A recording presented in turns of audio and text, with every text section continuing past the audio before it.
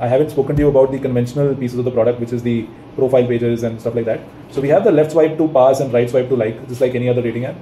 You can also tap through and watch, uh, see other profiles, uh, see other photos on the profile. Like here I see it on Laura. If I want to bookmark this profile, I click on the bookmark icon and that would show up on, under the bookmark section on my lists.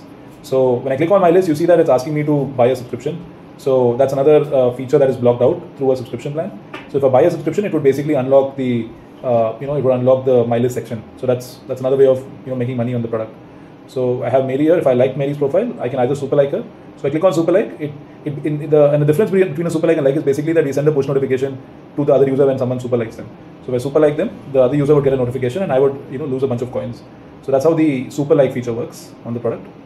So if I want to like this profile, I like them back. Now, if I want to see the details of any profile, I can click on the profile and look at all the information about that user, right? So that's how the detail page works. So if I click on Laura's profile in, I can actually see all the information about Laura, uh, about her, her basics, uh, whatever she's uh, you know entered while signing up on the product.